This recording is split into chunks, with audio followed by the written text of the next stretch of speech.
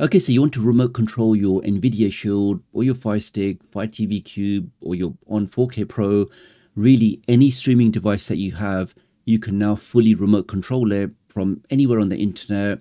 You can see the screen, you can move things around, you can install applications like you're sitting directly in front of that device. Maybe you want to offer support to your customers, maybe you want to help friends and family, wherever the use case is, we now have the ability to fully remote control any device out there. So in this video today, I'm going to show you the quick setup process.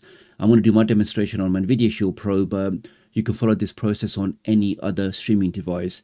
I did do a previous video on this, which was more of an overview. So, but in this video, I'm going to show you the exact steps you need to follow so you can now remote control your device. So to begin the process, go over to your settings and we want to enable the developer options so you can then turn on network debugging or USB debugging depending on what your device is. So as I'm doing this on NVIDIA Shield Pro, I can go to device preferences, I can go to about, and where it says the build number, if I just press the select button there, seven times, you'll get the message that you're now a developer. Once you see that message, you can now go back and this will now unlock these developer options. Now on most devices, the option you're looking for is just called USB debugging, but on this device, we've got both USB debugging, but we also have network debugging.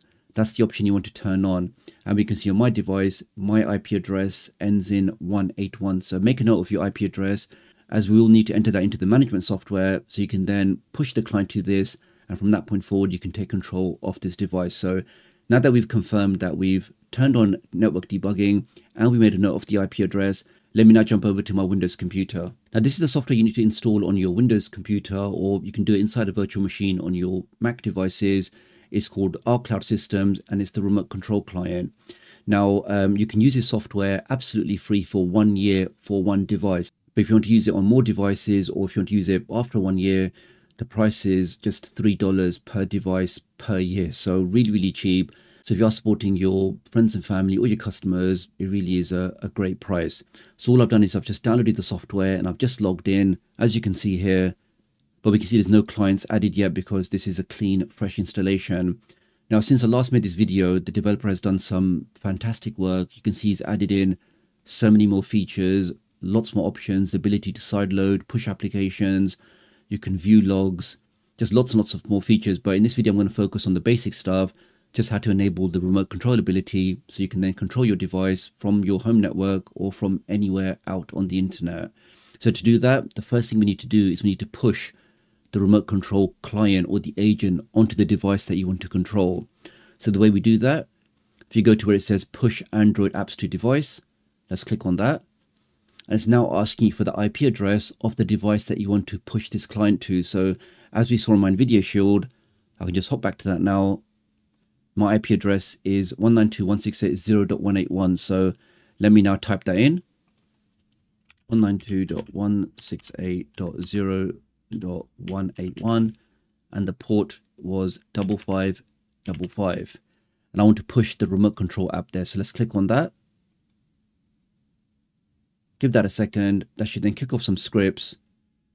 Uh, you can click on allow here. Now it says fail to authenticate which means if I go back to my NVIDIA Shield you can see it has the standard ADB authorization prompt. So I can click on allow always allow and click on allow again Let's go back to the client. Let's do that again. So push Android absolute device, the same IP address, 192.168.0.181. Same port, 5555. Let's click on push remote control app. This time, give that a second. That should then complete the installation. It says performing install says success. Okay, that's now done. I can now click on close. Okay, now let's jump over to NVIDIA Shield. And we now see this prompt here. So this is the first thing you have to do on your device, which is to give it the permission to draw over your application. So I can now scroll down in the list. Let's find the remote control client in here, which begins with um, R. Here we are. Let's click on that. That's now allowed. I can now go back. That's the correct permission. Now you can see right in the center, it's telling you that it has license issues because we haven't added a license to this particular device. You also have the ability to add the device name here, but let's leave that as is.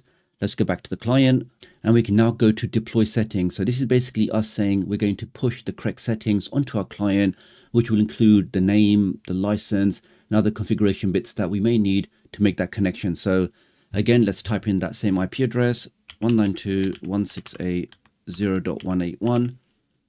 And let's now choose a license. So on my account, the developer was kind enough to give me a couple of trial licenses. I can now click on this and I can now select one of these licenses. So let's just go for the last one. Let's now give the device a name. So this is going to be my NVIDIA Shield Pro, NS Pro, let's just call that. Let's now click on deploy. So again, it's going to make the ADB connection to that client, to my NVIDIA Shield, and it's now going to push the settings we see here onto the device. So let's do that now. And now jumping back to my Shield, we can see we've got the license key added there automatically we can see the device now has the correct name, NS Pro, and we get a message that it's got my external IP there and it's telling me the remote access is now enabled. So it doesn't matter where I am on the internet, as long as I have a valid internet connection, I should be able to connect in and remote control my NVIDIA Shield.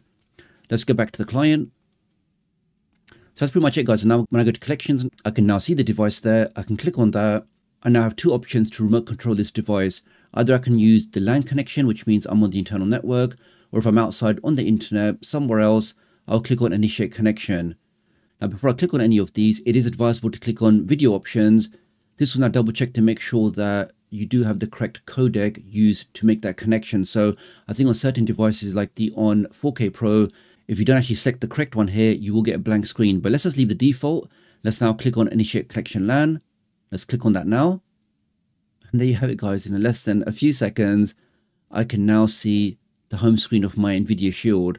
I'm just using my mouse here. I can now press the right click, which should simulate pressing back, back again.